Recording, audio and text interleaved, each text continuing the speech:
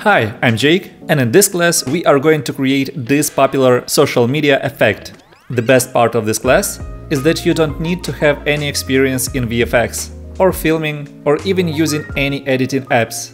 I'll provide you all needed knowledge on how to film your own video. If you don't want to record your own videos, then you can download already recorded raw footage from the resource tab to this class, so you could start practicing right now. I'll teach you all needed skills to complete this effect. You can just download the free trial version of Adobe After Effects if you don't have the software yet. And we will start right away. I am excited to see your projects after completing this class. I'll be happy to see you in my class, as also your result after following all the steps. So, let's get started.